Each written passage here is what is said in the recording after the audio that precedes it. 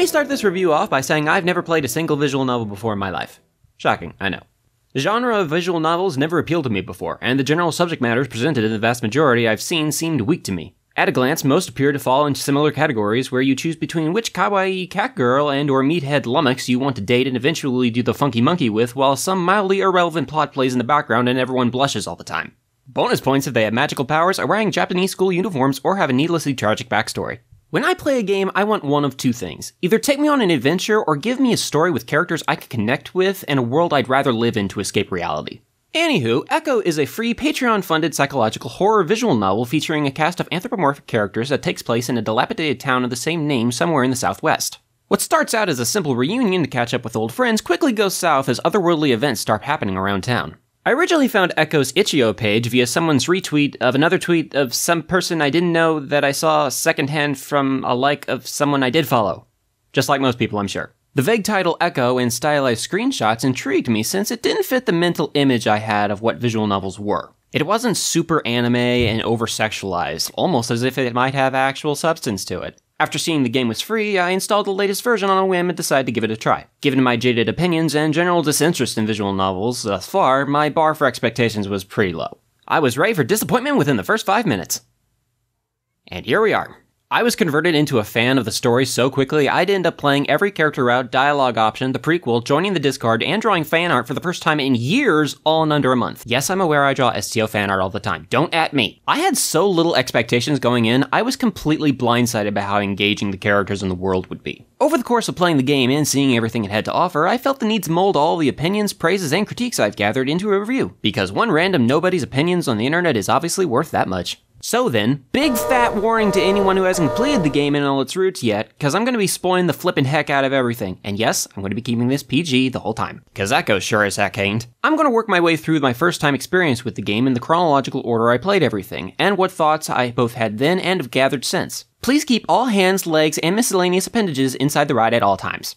Thank you. Intro sequences for games these days, especially indie titles, are crucial for success. If you can't sell someone on the narrative of a story within the first 20 minutes, you failed as a game developer and likely won't retain much of an audience. That being said, I think the interesting take on Echo's intro is actually what got me hooked while I was still on the fence. Let's start with the characters we're introduced to first. We got Chase Hunter, an average American brown otter who's visiting his podunk hometown of Echo in the middle of hick nowhere for a school project and to catch up with old friends. We'll be playing as this water sausage for the majority of the game. It's not like he has any ulterior motives or a shady past he can't remember due to repressed memories and the town is haunted by otherworldly forces or anything. Wouldn't that be crazy? Bonus points if they have magical powers. We also got TJ Tobias Hess, who is a precious polo wearing Canadian lynx who loves Jesus and has to be protected at all costs. Next, we have Jenna, um, uh, Jen, Jenna, Jenna Marbles. Sure, why not? She's a Native American Fennec Fox who plays the sole female in a primarily male cast. It's honestly a bit unfortunate there aren't more characters like her in the game, in my opinion, because her level of femininity and sass are on point. The first 20 minutes or so are simply the three of them carpooling down the road to their old hometown. The whole scene is admittedly a bit dull, yet I quickly realize something interesting about the approach the game uses in its narrative. Various situations and to what extent they are expanded upon through the eyes of Chase have a striking impact on how relatable everything is. Basic situations tend to have enough intrigue to keep you interested in what's going on, yet are also mundane enough to feel like real life. I can't quite explain it, but it's something Echo does really well. A good example of this is how Chase will often pause and reflect on minor inconveniences or intrusive thoughts, something that everyone does subconsciously but is rarely used effectively in writing. Occasionally, these moments are used for humor, but often expand on character development and continuation of the story. Adding this kind of narrative factor into the mix is a bold and dangerous move. If done wrong, it can derail an entire story and leave the reader confused and disinterested. Yet, Echo manages to pull it off without a hitch, adding to the believability and validity of the world as a whole. If you're a millennial and have any level of social anxiety, shyness, self doubt, or just plain awkwardness and are still trying to figure out the meaning of life while technically being what's classified as an adult, this game is pretty much written about you. Not for you, about you. It's like Life is Strange all over again. For crying out loud, you're watching a cartoon fox talk to you through a pre written script on the internet. I'm already socially awkward enough as it is. You don't need to call me out like that, game. So then, what do I think about Chase as the main protagonist? I've seen a number of people say he's self centered, has the emotional spectrum of a boulder, and his goatee and blue shirt are the entire depth of his personality. And, well, they're not entirely wrong. I'll admit he's not the most unique character in that his actions and reactions to situations are often cowardly and passive at best. He doesn't do a whole lot to make himself stand out in the group and is often the proverbial fly on the proverbial wall, like a really boring Mary Sue who's addicted to mineral water. All that being said, his lack of personality actually benefits the game and is what defines him as a good character, I think. You see, when you play Echo, you play as Chase. You make decisions on what he'll say and do, taking direct control of his actions at critical junctions throughout the story. You're not left simply watching things unfold like a Spanish soap opera, you're often participating in them instead. So then, our friendly neighborhood Otterman is essentially a blank slate. Someone so barren of strong emotions and opinions, you can easily project yourself onto him. It's an ingenious way of storytelling and something Telltale titles often do. So while Chase himself has about the character depth of a deflating kiddie pool, he's exactly what he needs to be for the game to be as good as it is. If he were any more complex, defining traits of personality of his character would start forcing a narrative onto the player they may or may not agree with, leaving the game to have less of an emotional impact. Anyway, moving back to the story, after everyone arrives and gets settled at the Bates Motel, we meet the rest of the cast we'll be spending the remainder of the game with. We have Carl Hendricks, an overweight ram who's overbearing with an Oreo addiction. Yeah, let's go with that. Who is essentially the comic relief of the group. There's Flynn Moore, a lizard thing I literally didn't know what he was for two thirds of the game. that likes to play the bully while making everyone feel uncomfortable with how much his shirt is unbuttoned. And lastly, we have Leo, the hulking Hispanic red wolf who's the self proclaimed leader and protector of the group. The story continues on as everyone visits an amusement park the next day, and we learn more about people bit by bit and how their history ties them together. That's when the game starts to get a bit more interesting, and soon we're given our first dialogue option. The choice presented to us is meaningless, and where Chase decides which of his two friends he likes more, and has zero bearing on the rest of the game. I chose TJ, by the way, because he's adorably innocent. Although pointless in the long run, it's a nice precursor that makes the player aware that their choices might have consequences later on. A lot of talk and some battle of the sexes later, a big argument breaks out where Flynn accuses TJ of withholding information about one of their friends who drowned when they were all kids, or have a needlessly tragic backstory. Everyone splits off in different directions, and that's when we, the player, get to make the big decision that changes everything. How thirsty is Chase? Joking aside, this is the pivotal point in the game where things start to matter, and you choose which of the five different paths the game will go down. Like most branching story games, each individual route follows a similar timeline of events to begin with that grows more and more dire as the game progresses. There's a dark force that has a hold over the town of Echo and feeds off death and guilt and and death and I don't know, it's kind of ambiguous to be honest. Last time I asked about it on Discord, it started a whole metaphysical debate I couldn't follow and people got in trouble, so let's just leave it at that before anyone yells at me. The story arcs for each character are different and unique enough that makes the game worth playing a minimum of five times just to see and learn everything there is to offer. So then, how did I start my first playthrough of the game, you ask? Well, according to the developers, I committed a cardinal sin by playing TJ's route first. Though I think a better question would be who wouldn't play TJ's route first? Putting aside the fact that the Lynx is adorable, kind of like how you find a puppy adorable, it just made logical sense to, as a decent person to go after him instead of anyone else. Most people who play choose your own story games generally tend to make morally right choices when presented with conflict. So, out of all the options presented to you, one of your most vulnerable friends just ran off after being bullied. I mean, seriously, a freaking course I'm going to follow him. Who wouldn't? TJ's route is probably my favorite storyline in the game as a whole. I'll explain what I mean by that later. The primary reason being the arc is uneventful and peaceful compared to the others. That may sound boring, and at times it was, but even though Chase becomes more and more possessed near the end of the week, there's a noticeable lack of dread that escalates into the eventual mass hysteria that overtakes Echo. There's no deranged underground orgy parties and hidden bars, no serial killer methods, no ghostly wendigos trying to murder you, and no vengeful spirits keeping you hostage in purgatory. Instead, for the vast majority of TJ's route, you're just hanging out with friend. It's clean and simple, and I like it. Most of the scenes in TJ's route consist of admittedly mundane scenarios, such as doing yard work you were guilted into by a non-overweight diner lady, going to the mall and playing skee ball, and playing games of Never Have I Ever, because we all know those always end well in stories like these. What makes it all worthwhile though, and another reason TJ's route is my favorite, is seeing his character develop through the story's slow burn. Either through self confidence or being influenced by whatever's an echo, TJ slowly overcomes his propensity of being an emotional crybaby and takes a stand for himself and becomes more brave. Sort of. It's not perfect, but it's notable progress made nonetheless. The second half of TJ's arc consists of a supposedly impromptu scavenger hunt when you uncover an old letter from the group's dead friend from when they were kids. Reading between the lines, it later turns out the whole thing was just a ploy planned by TJ to help him cope with his guilt over the incident. Tensions, of course, rise, however, as Chase discovers something's amiss, and we witness a messy de-evolution of his personality as he becomes increasingly overprotective of TJ to the point of crazed obsessiveness. Gee, that sounds familiar. Oh, and this guy named Julian is here too. He looks like the kind of millennial that drinks boba tea while wearing turtlenecks. Don't worry about him though, he's just a plot device. Don't get me wrong, I love the tension and action in the other routes, but the mundanity of TJ's story is what makes it special. I'm reminded of other games like Undertale, where while there's an overarching plot and some action, you're generally more focused on just being friends with the NPCs instead. The same thing can be said for TJ's route, I think. In the end, TJ became my favorite character of the cast. Given the bashful and naive stereotype he falls under, you feel genuinely sorry for him when something bad happens. Not to mention, considering how often this game just casually drops ridiculous amounts of profanity, his lack of cussing is a refreshing relief. There is just one major bit of criticism I have for his route, however, and I hope is addressed somewhere down the line, and that's the ending. It's excellently written, but fails in one vital area, and that's connection to the reader. Remember how I said Chase's blank personality was great for vicarious storytelling? That's exactly the problem here. Midway through TJ's story, there aren't any meaningful choices anymore, which left me feeling disconnected as Chase grew less and less like himself. I felt powerless, like I was watching a tragedy unfold I had no part in. There was no option to fight back, taking away total control from the player. Given the game's ability to choose a path of the story to a limited degree, it felt incomplete to me. I want to make myself clear on this. Chase is a lot of things. I don't love him like some people do, but I don't hate him either. He's a mix of mostly good intentions, but that doesn't mean he's a good person. One thing I never felt he was, however, was a cold blooded killer. Yes, I hear you all screaming Sydney in unison. Shut up!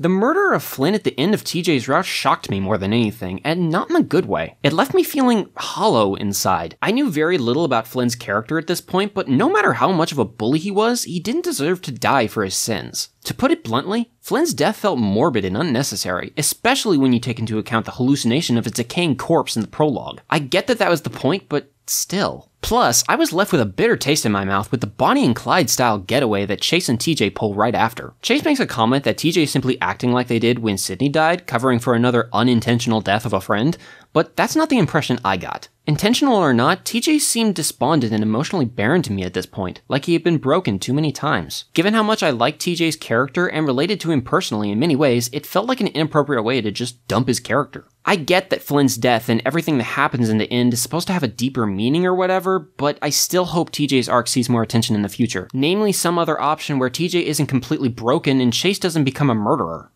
Well, okay, a double murderer. Sue me for wanting at least a somewhat happy ending. There's currently no the end splash screen for this route, which is a bit odd, so maybe that's a glimmer of hope there's more to come? I'm not going to presume to suggest anything to the writers, as that wouldn't be appropriate. But if nothing's done and TJ's route is indeed finished, I think it's a huge missed opportunity to make an awesome character arc even greater.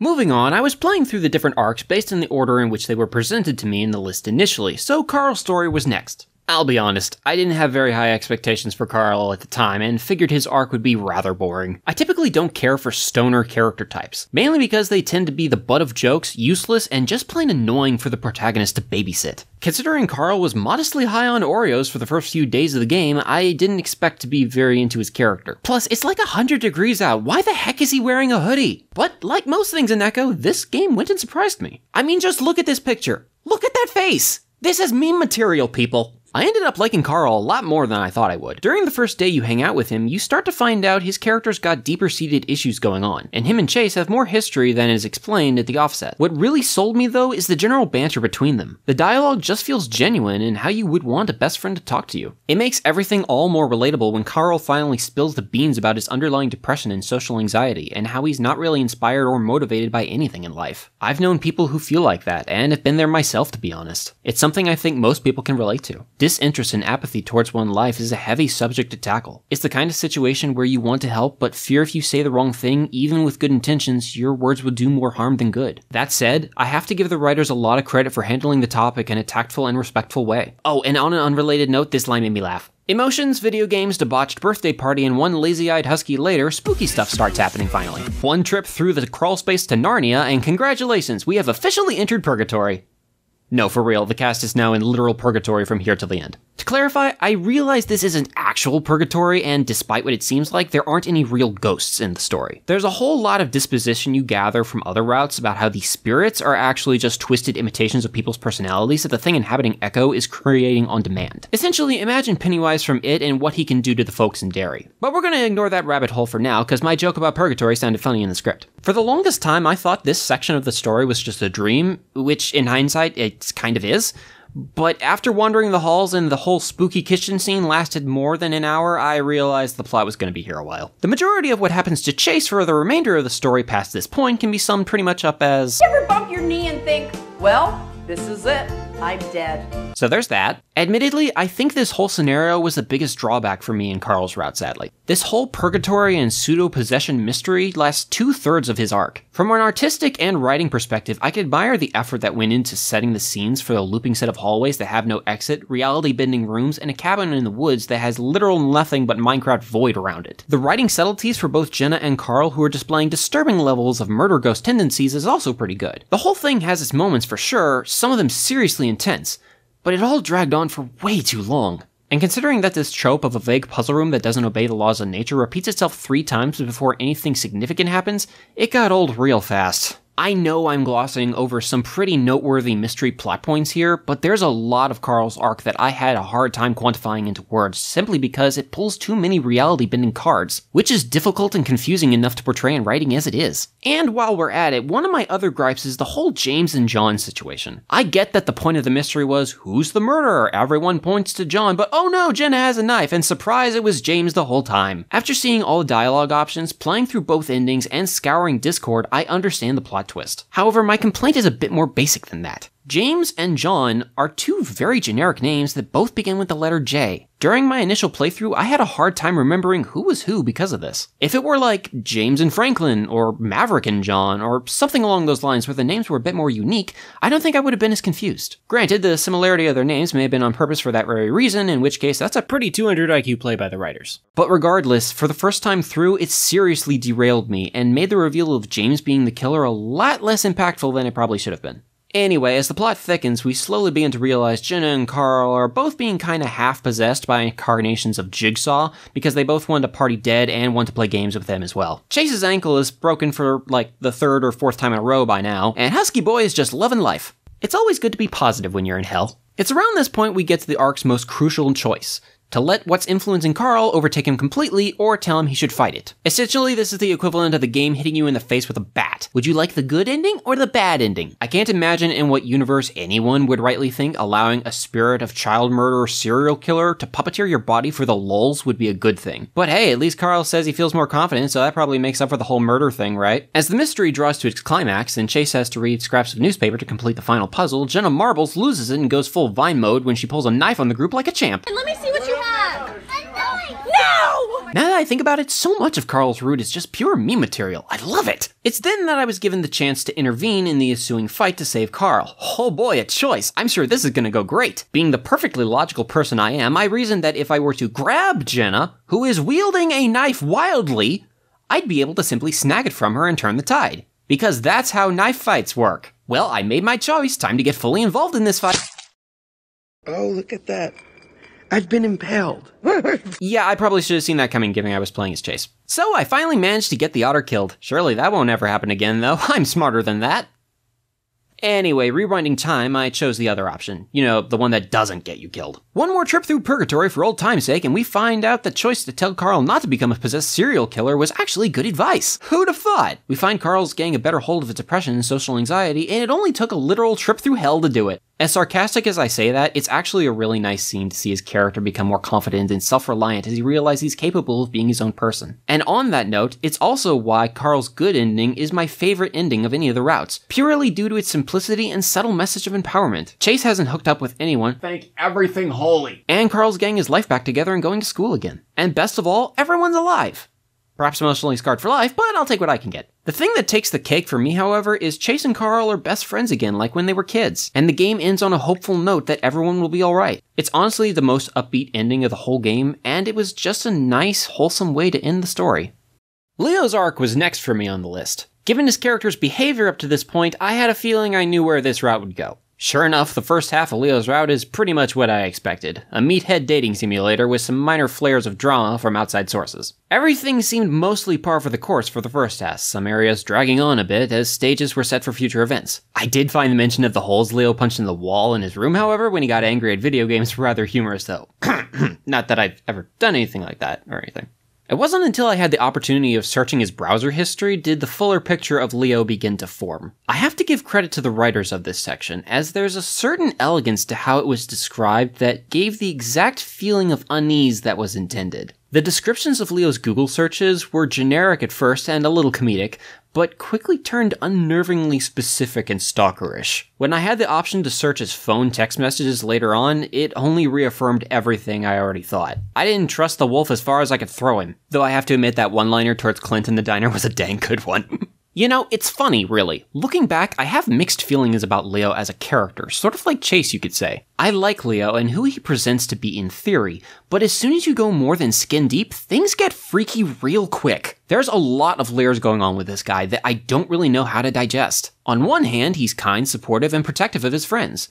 On the other hand, he's a self centered, obsessive, manipulative stalker. And yet, even after everything that happens, after every awful thing he does, I'm still left feeling bad for him. You writers for this game deserve some credit because y'all made me feel things for what would normally be classified as a bad guy in most scenarios. So, putting the lummox aside, let's talk about the rest of Leo's route. I mentioned before TJ's route is my favorite, and as a whole, it still is. But I think the second half of Leo's arc is better, and honestly brings my rating of it pretty much to a tie with TJ's. As soon as Duke and Brian show up to the diner with a gun and murder Janice, the mundane soap opera up till this point spins a complete 180. Should be noted at this point, I think that Janice already went full Hannibal Lecter mode on Julian in the kitchen, though, so, like I said, plot device. Everything that happens with Chase and Brian in the trailer right after is by far one of the most heart pounding scenes I've ever witnessed in a game. I really can't praise Brian's writing enough in the scenes that followed. I was hanging on every word the serial killer bear said, fearing Stable Mabel might snap at any point. There was something especially profound about the way Brian described the reasons for having that mirror on the ceiling above where Chase is tied down during this sequence. At first mention, I just figured it was some dumb sex dungeon thing and didn't think much of it.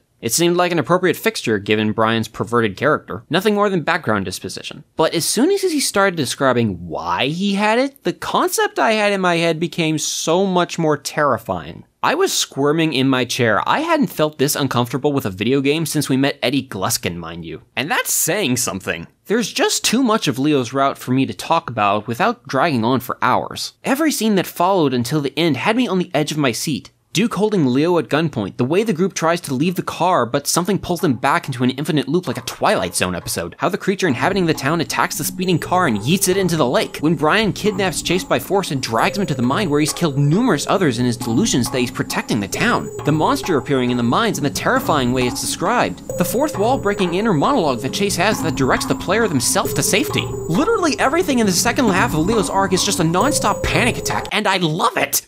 Also, can we just take a second to appreciate Kudzu here? He's honestly my favorite side character of the story, second to my fellow Trekkie Daxton. I think what makes him so good is he's level headed throughout everything that happens. He's not reckless or obsessive or unreasonable like the rest of the cast. Honestly, a lot of his personality reminded me of Lee from The Walking Dead. Not sure why, but I ain't complaining. Competent characters during a horror story are always a good thing to have in my book. On to the ending, though. Being the goody two shoes I am in my ever present quest to be nice to every NPC in a video game, I told Leo we'd work something out. After everything the cast had been through up to this point, I figured leaving him behind would likely get him killed, or worse. Over the course of the story, I had gathered Leo was a lot of things, manipulative and toxic to name a few. But, like Flynn, he didn't deserve to die. The moment Leo yanked Chase off the train was when I knew I got the otter killed again. It really goes to show how good the writing for this game is, you know? A few lines before anything actually happened, I immediately had a flashback to earlier like a cheesy soap opera with the camera ripple effect and accompanying harp strings to the mention of some guy Chase read about at the library who lost his legs when trying to hop a train during the last hysteria. I couldn't put my finger on it, but even back then I somehow knew.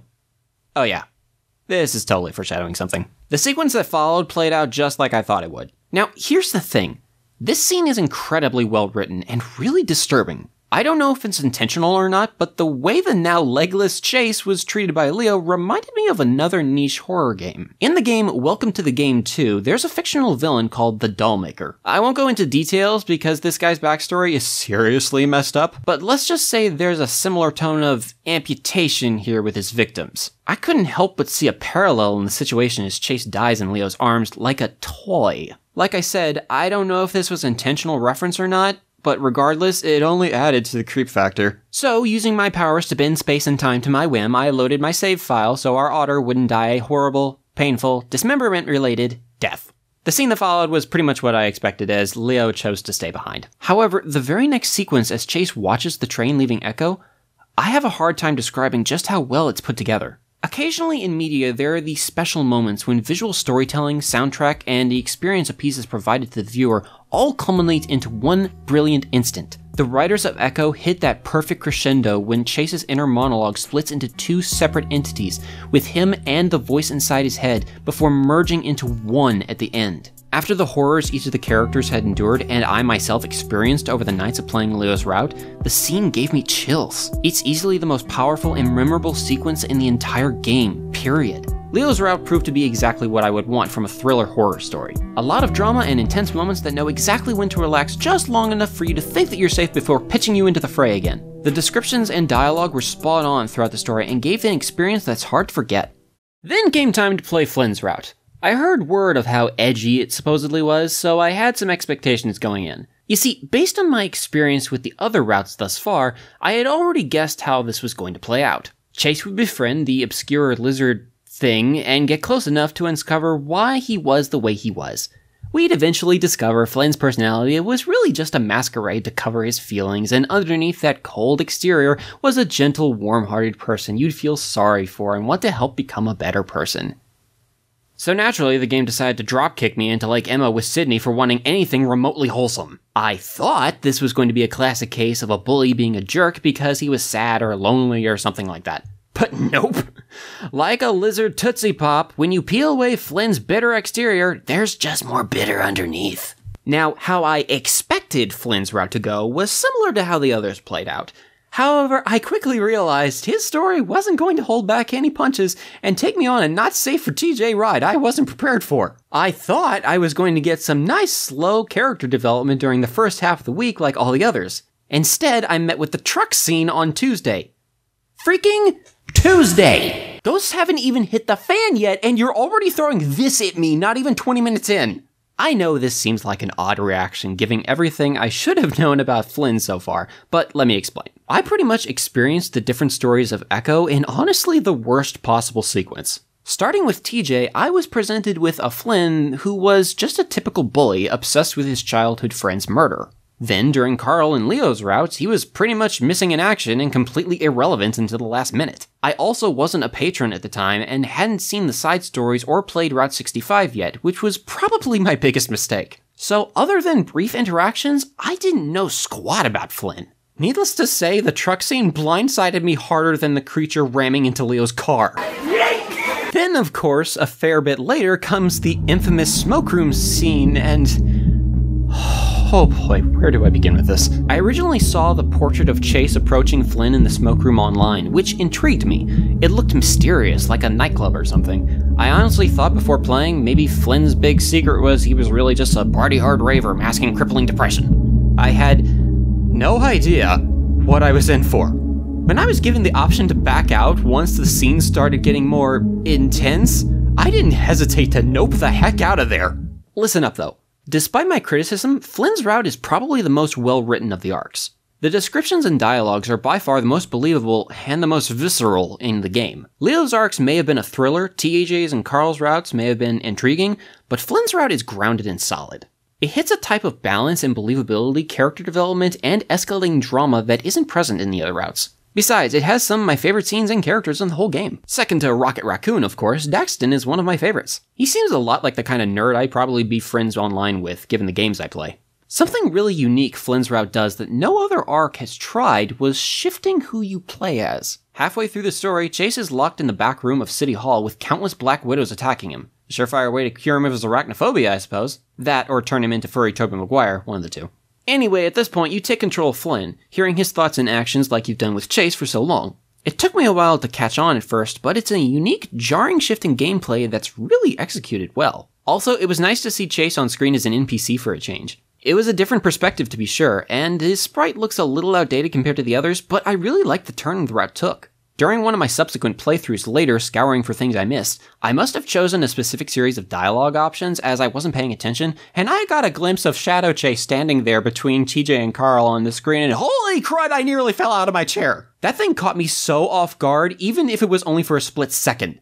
So McSkinny, if you're watching this, good job. The car escape scene near the end was similar to Leo's arc, but with a few twists until the group splits off after being yeeted into the lake again.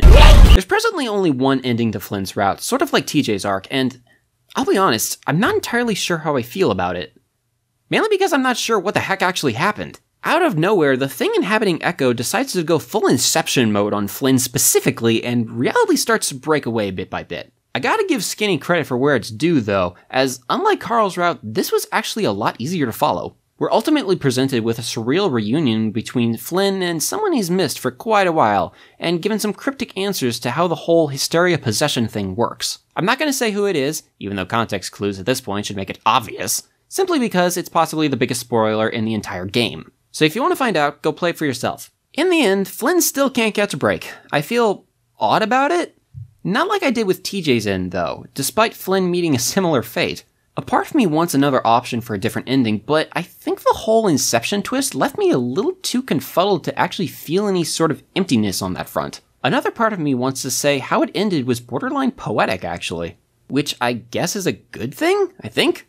Honestly, I'm not sure. In the end, Flynn wasn't my favorite character, if I'm being honest. I don't mean that he's not well written, mind you. In fact, like his route, he's probably the most consistent character of the whole cast. And after finding out the game has been co written by like five people or something over its lifetime, that's saying a lot. He's the kind of goodish bad guy you love to hate and have a low key hope for, if that makes sense. While there are definitely some points who am I kidding? A lot of points in his arc I'm not a fan of and are downright unsettling to experience. The reveal at the end and ultimate climaxing crescendo, I think, is worth the wait.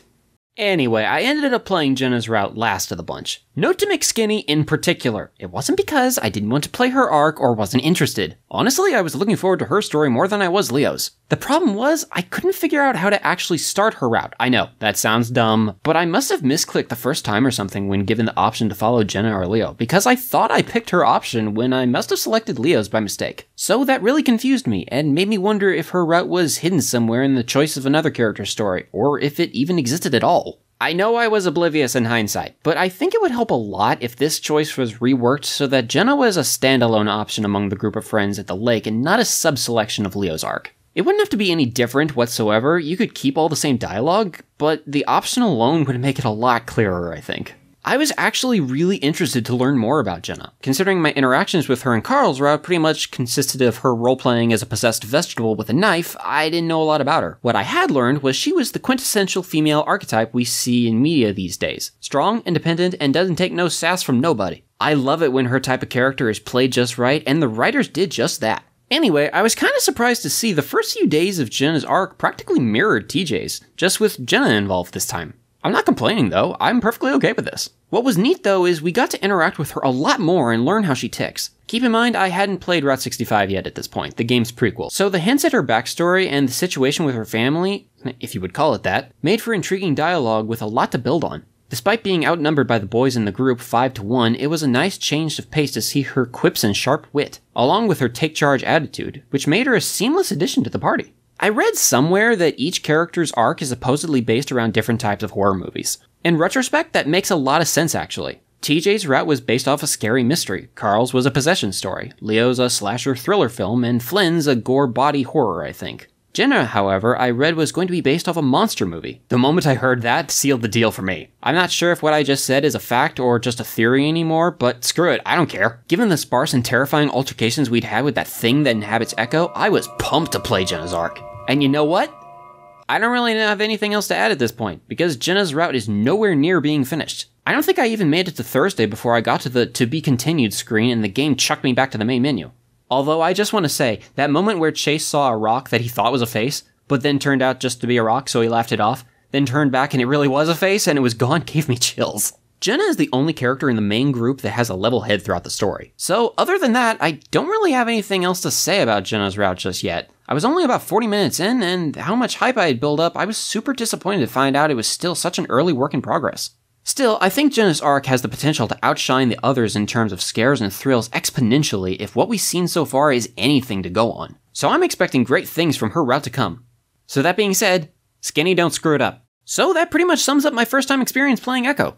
Obviously, it took me a minute to finish every route and dialogue option the game has to offer. I'm sure I've probably missed a few things along the way, but now that I've summed up my thoughts from my first time experience, I'm going to include some more miscellaneous thoughts and opinions that span Echo as a whole and not just specific story beats. Something I'd love to see in general is more dialogue choices throughout the game. When I say this, I don't mean that there should be more branches and endings to the game though. I can only imagine what kind of a tangled nightmare it is to keep track of all the branches already. This harkens back to my comments about how Chase's personality allows the player to project onto him. One of my favorite moments in Flynn's arc in this regard is when you're eating at the diner with him near the beginning. The not overweight Janice asks what you'd like to drink and eat and what side order you'll have. After experimenting with a few of the options, I made a resounding discovery. None of it mattered. At all. Whether you decide to copy Flynn's order play by play or go completely opposite, the subsequent dialogue that follows continues regardless. Now, the concept of meaningless choices like this may seem trivial, but I think it really helps shape the characters and drive connections to the world. While those options at the diner had no bearing on the story, I as a player felt like I needed to weigh my options and choose carefully. More dialogue options that determine how Chase responds to situations or characters he's speaking to, and then have no further influence on the plot, save maybe a sentence or two, would go a long way, I think. Oh, and while we're on the topic of game design in general, if the game ever does get a revamp, I'd love to see them move away from the current 4x3 window ratio. I get that Echo was probably designed to be played in a window mode originally, but it seems a bit odd now given most games these days are the standard 16x9 format. Especially considering the more current projects the Echo team is working on are in 1080p 16x9 already.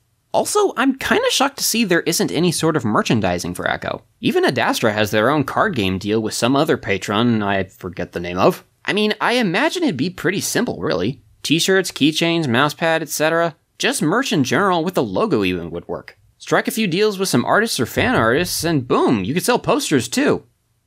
Wink. I don't know if the writers have considered merch deals at any time before, but if they haven't, they really should. Let's talk about sound design for a sec. Sound design is immensely important in games. I want to praise Echo for its original soundtrack. It's clear a lot of work and effort went into it. However, at the same time, I feel I can't give the game's sound design in general as much praise as I would like. It's a bit weird because the best way I can describe Echo's sound design is inconsistent. Like, the music itself is astounding. My gripe airs more on the side of the sound effects instead, and how they're rather generic and recycled a lot. For example, whenever a character gets hit with an item or is punched during a fight, it's the same sound as when Chase trips and breaks his ankle for the hundredth time, or when Carl falls from the tree in his backyard, or when Leo trips on the curb. To put it simply, it's an immersion breaking thing. Also, can I just say, I don't know if any of the developers have ever actually fired a gun before. not that I have either, granted, but this is not what a close up gunshot sounds like. That being said, this that's a gunshot. Figures Duke would have the only working gun in Echo. Overall, I'd give my initial impression of Echo a solid 8 out of 10. Sure, there are a few bugs here and there, like a few typos and a few continuity issues, but nothing so drastic that I would consider worthy of mentioning specifically.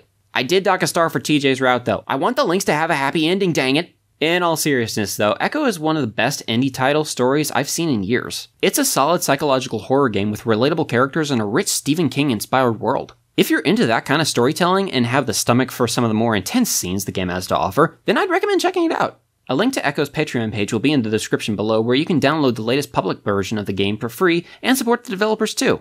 I keep this channel mainly for my speed art videos, so I realize this full length review probably came out of left field for all 16 people who are subscribed to me. I kinda doubt I'll be doing more reviews like this, cause this took a buttload of time to make.